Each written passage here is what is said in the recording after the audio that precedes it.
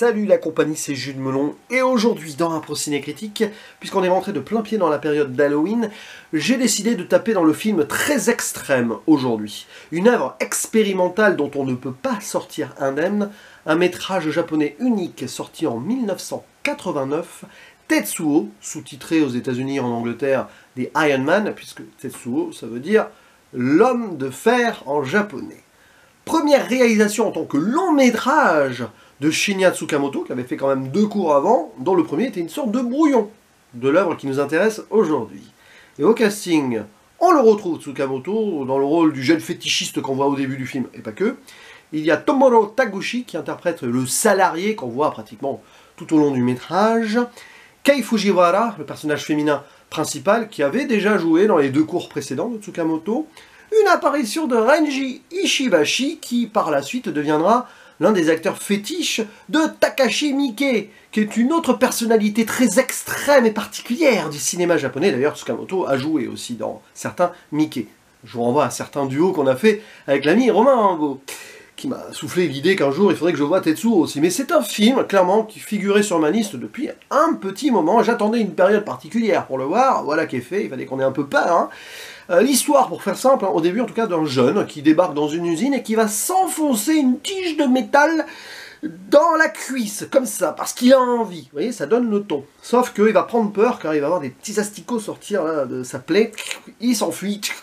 Et de fil en aiguille, par la suite, un salarié lambda, avec son costard cravate, tout ça, va être victime d'une sorte de mécanisation, machinisation de son être, puisque en se rasant, il va se rendre compte qu'il a une pointe de métal qui sort de la joue, comme ça. Et petit à petit, euh, il va devenir, je simplifie hein, le synopsis, de toute façon l'histoire est secondaire ici, hein, mais quand même, hein, euh, une sorte d'homme-machine, et euh, perdre pied avec une forme de réalité, et alors ça part ensuite dans tous les sens, puisque Tsukamoto ne s'impose aucune limite, faut savoir qu'il a réalisé bon, le film avec certains collaborateurs, mais il a fini quasi tout seul au montage. Le projet a pris plusieurs années pour être finalisé, ça a été euh, complètement fou. Mais il y a une liberté absolue dans ce film, euh, comme on en voit très rarement. Il est allé au bout de son délire, et ça peut paraître foutraque par moment. Oui, à certaines euh, séquences, ça l'est, fatalement. Mais alors, arrivé au bout, vous avez eu l'impression de vivre un moment de cinéma absolument dantesque, et c'est le cas. Euh, pardonnons certaines erreurs d'un premier long métrage et d'un manque de budget, parce que ça, évidemment, euh, il ne pouvait pas tout faire. Quand bien même il ait fait ce qu'il voulait, et à un moment il a dû se retenir ou passer par certains artifices. Euh, le scénario en tant que tel, bon, peu importe, à un moment ça peut partir dans tous les sens. On arrive quand même à une conclusion qui est, selon moi, très forte parce que euh, ce film, pour moi, a deux qualités. Les expérimentations visuelles et l'ambiance que ça donne, mais aussi les thématiques abordées. On va commencer par la pure réalisation. Euh, c'est fou à quel point euh, Tsukamoto, pour contourner donc, le manque d'argent, rivalisait d'idées très ingénieuses. En soi, il n'a rien inventé. certains films muets, d'ailleurs, même très très tôt dans l'histoire du cinéma, géraient ce genre de situation-là c'est un film quasi muet d'ailleurs, à part les bruits, ah, les cris râles, etc. Et la musique très industrielle derrière, a vraiment beaucoup apprécié. Oui, parce que c'est un film très industriel et expérimental donc. Eh bien, euh, il y a des, euh, voilà, petits personnages presque en stop motion par moment. Il y a des accélérés, des euh, avec montage elliptique, bim bout à bout, comme ça, ça fait presque, voilà, comme si on feuilletait rapidement un petit livre d'images, quoi. Hein, ça, hein. une forme d'animation mise en live action pour euh, contourner, parce qu'à un moment il fallait quand même euh, imaginer que les personnages pouvaient avancer en roulant plus ou moins sur la route, comme ça, pour se déplacer très vite, hein, l'idée de presque télétransportation, et donc euh, il y a cette tentative de rendre la chose très nerveuse, j'imagine que ça a dû prendre à chaque fois pratiquement une journée de tournage ou plusieurs heures juste pour ensuite mettre bout à bout tout ça, c'est absolument fou, hein. c'est absolument fou. Euh, et, après, voilà, c'est assez stroboscopique, hein, les, plans sont très rapides, mais ça donne justement cette idée de euh, atmosphère hallucinatoire qui ne peut pas nous quitter. Et puis il va très loin même dans le délire corporel, parce que c'est un film sur le corps. C'est un film qui questionne énormément la mutation, je reviendrai sur les thématiques derrière, hein, mais bon, il y a du David Cronenberg dedans, on peut penser à Vidéodrome, hein, Longue vie à la nouvelle chair, bah là, c'est presque ça, mais avec euh, la machine. On peut penser à l'univers de David Lynch aussi, notamment pour Eraserhead, hein, parce qu'à certains moments, on voit qu'il y, a cette idée-là. Euh, il y a le noir et blanc qui va avec aussi, bien sûr. Et euh, disons que euh, dans, ce délire sur l'humain qui se transforme, il y a aussi beaucoup de choses qui ressortent sur l'attrait à la mort et à l'amour, à la destruction, une nouvelle forme de vie. Et c'est un film qui est très hybride par définition, par rapport à ce qu'il raconte. Et c'est là où c'est du cinéma, parce que ouais, tu peux faire l'expérimentation dans tous les sens, bien sûr, ça peut être facile ou pas facile, ça dépend après euh, ce que vous voulez porter comme projet, mais il y a un propos derrière, et il est hyper puissant. Voilà. Et puis après, euh, donc, parmi les autres influences visuelles de Tsukamoto, ce qui D'ailleurs, ce qui fait que ce film est purement japonais, malgré les influences plus ou moins américaines, hein, Lynch Cronenberg, c'est intéressant. Influence américaine, société japonaise, on va en parler ensuite sur la, thématique. C'est que euh, à certains moments, il y a du visuel presque qui renvoie au théâtre kabuki, kabuki, kabuki, kabuki. Euh, c'est extrême dans la, dans la façon de jouer. À un moment, il y a un personnage qui arrive presque avec une sorte de maquillage. On est pas loin même de ces séries euh, un peu héroïques. Bah, c'est purement japonais. Il y a des moments où tu sais que c'est au Japon et que c'est des japonais derrière. Voilà. Donc, euh, Et puis j'ai parlé de Akira aussi, peut-être. Non, j'en ai pas parlé, j'en parle maintenant. Je sais plus trop de quoi je parle à force des fois. Tetsuo, c'est quand même un personnage principal dans Akira. Et c'est pas hasardeux que euh, ce film sorte un an après Akira, parce que déjà Akira questionnait quelque chose euh, pratiquement cyberpunk. Et Tetsuo est considéré comme l'un des premiers films, long métrage en tout cas, d'une heure cinq ici à peu près, euh, dans la mouvance cyberpunk. évidemment, ici, on est à fond dans le cyberpunk. Akira, si vous prenez un petit peu d'idée de mutation, ma sous, on sait ce qui lui arrive dans le film.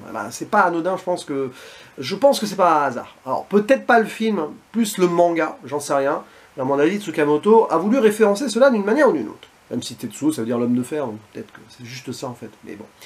Et à partir de là, je vais parler des thématiques. Parce que, ouais, l'amour à la mort, la destruction, tout ça, c'est la pure représentation d'une société japonaise décadente que clairement Tsukamoto, du moins à l'époque, déteste. Ça se sent. Il veut triturer celle-ci, la ville de Tokyo évidemment, qui est composite euh, à l'intrigue. Euh, en prenant d'ailleurs euh, ce personnage du jeune qui veut se faire mal, hein, un petit peu l'expiation japonaise, hein, toujours, hein, il y a cette idée-là. mais ce salarié qui est englobé déjà dans un système qui, avant de devenir homme-machine, est déjà une sorte de rouage de cette machine système. Quelque part, il y a déjà ce destin-là. Euh, on n'est pas loin d'un moment film de zombie, un moment. On pourrait imaginer ça, ça aussi parce que c'est l'idée. On peut croiser les thématiques. Et je pense que Tsukamoto, avec ce film, il a voulu montrer l'aliénation de sa société japonaise, qui pousse toujours au progrès de plus en plus avec la techno-machinisation euh, globale de l'univers euh, japonais. Et le mal japonais est là. Parce que je parlais des références américaines, il y a des moments, le film il est hybride américain-japonais, et c'est pas un hasard. Parce que la société japonaise hyper moderne de l'époque était très américaine aussi, tout en restant japonaise, et avec cette idée du travail absolu. Je pense que Tsukamoto, à un moment, il veut convoquer le, euh, la souffrance d'un peuple depuis, à l'époque, un peu plus de 40 ans. Voilà. Depuis Hiroshima et Nagasaki, où voilà, l'Amérique s'est installée de force après avoir fait mal, et a imposer son capitalisme absolu et le Japon a voulu toujours faire mieux, voulu aller au-delà de ce qu'on lui a imposé pour... Euh, bah, on sait ce que c'est, hein, ça travaille tout le temps au Japon, c'est... Et tu sens qu'ici, c'est tout ce mal qui est mis en place dans le film. Voilà. Euh, c'est pas pour rien qu'il se transforme en homme euh, fer ou en homme rouille inox. Bon, bah, ce sont des compositants qui ont construit cette société hyper industrialisée, et je pense que Tsukamoto, il veut tout envoyer valser, là, il fait un film hyper punk rebelle, pour dire stop. Voyez comment nous, les Japonais, parfois on peut se sentir.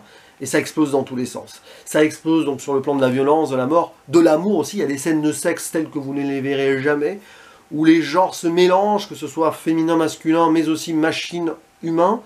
Avec, oui, il y a des scènes à pas mettre euh, devant tous les yeux. Je pense que c'est interdit minimum au moins de 16 ans, tout ça. Et dans certains pays, ça a dû passer au moins de 18. C'est absolu. Mais ça va avec. Euh, le sexe qui devrait être du plaisir, c'est de la violence et c'est de la souffrance, et vice-versa, la souffrance qui devient du plaisir, c'est là où, euh, selon Tsukamoto, la société japonaise était rendue. Et c'est d'une violence absolue, et ça rend le film marquant sur plusieurs points, au-delà même donc de son aspect visuel. Je vais passer sur la fin aussi, qui fait que le film est très japonais, il y a un petit côté kaiju même, très spécial. Mais c'est fou, Tetsuo.